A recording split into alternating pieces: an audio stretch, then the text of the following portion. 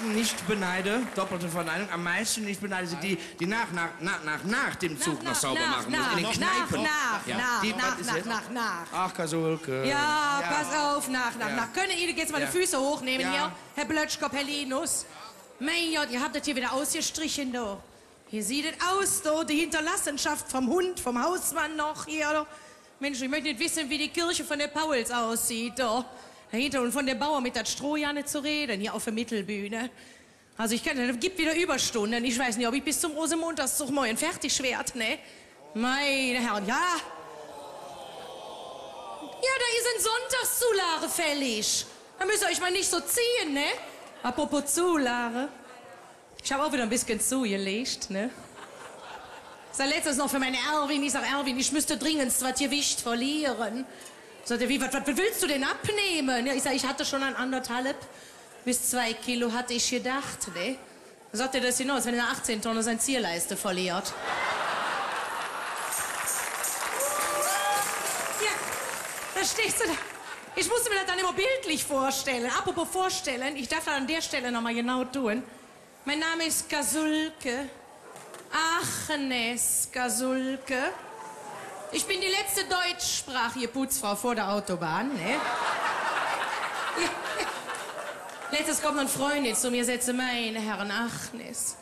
Setze meine Mann ist im Moment so was von deprimiert.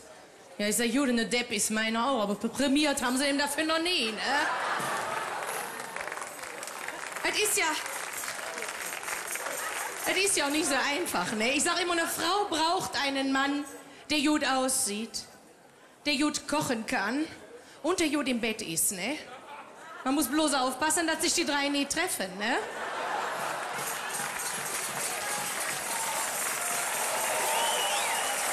Parkett ist ja eigentlich ja nicht meine Bodenbelach. Ich stehe ja mehr auf Kunststoff, ne? Ist einfach pflegeleichter. Und bei der ganzen Sport, der ich mache, da stehe ich ja auch meistens auf Kunst. Ja, ich mache viel Sport, das glauben Ihnen mir nicht, ne? Um Gottes Willen, ne? Das war mein Aufschlag. Ich habe nämlich Tennisstunden gehabt, ne? Ja, ja, wirklich, ne? Stehe ich beim Tennislehrer, da sagt die Frau Kasulke, Sie dürfen die Bälle hier nicht so springen lassen. Ich sag, aber mit BH schwitze ich immer so.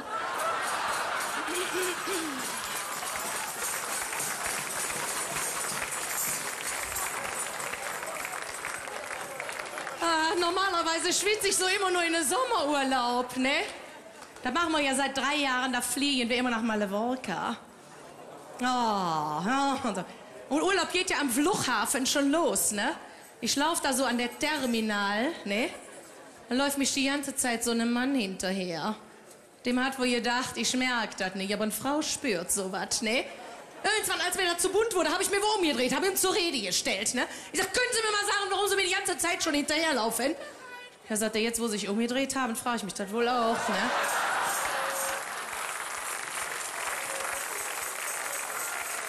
Ich sag, Freundchen, mit Sie bin ich noch nicht fertig. Ich sag, wären Sie mein Mann, ich würde Sie Gift geben. Dann sagt er, wären Sie meine Frau, ich würde es nehmen. Hier. Hören Sie mal. Und dann endlich in der Flieger. Wir sitzen in der Flieger auf die Startbahn. Meinen Erwin zum ersten Mal am Fliegen, ne? Wir starten, wir rollen die Startbahn entlang. Wir rollen immer schneller und immer schneller. So schneller wir rollten, desto weniger Falten hatte ich, ne? Und wir starren durch, durch die Wolkendecke. Und da kam die Durchsage von den Kapitän. Er sagte, sehr verehrte Damen und Herren, wir haben soeben unsere Reiseflughöhe von 9000 Metern erreicht. Das Wetter hier oben ist hervorragend. Und oh mein Gott, verdammt nochmal! Zwei Minuten Totenstille in der Flieger.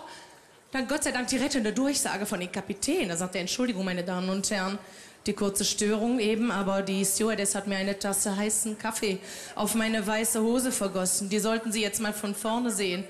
Da sagt mein Erwin, Sie sollten meine jetzt mal von hinten sehen. Frau Kasulke. Also, Nee, Das ist schon mal. also, Das ist schon Ja, bitte! Agnes Kasulke, meine Damen und Herren. War ein Applaus für die Kasulke. Dame, nicht wahr? putzt sich der Wohl für uns. Meine Güte, danke dir, Agnes.